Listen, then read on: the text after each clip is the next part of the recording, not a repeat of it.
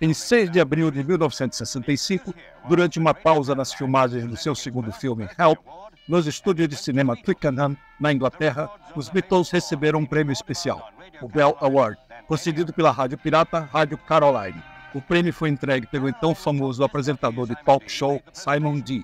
Essa honraria destacou ainda mais o sucesso da banda naquele ano. Rádio Caroline era conhecida por sua ousadia e inovação, assim como os Beatles, tornando esse prêmio um marco significativo na carreira dos Fab Four. On the air, stage, films, and now at sea, the Beatles ring the bell every time.